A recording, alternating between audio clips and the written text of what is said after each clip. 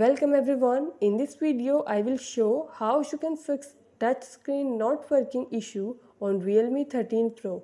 Before starting this, please press the bell icon or do subscribe this channel. Let's start our video without wasting any time.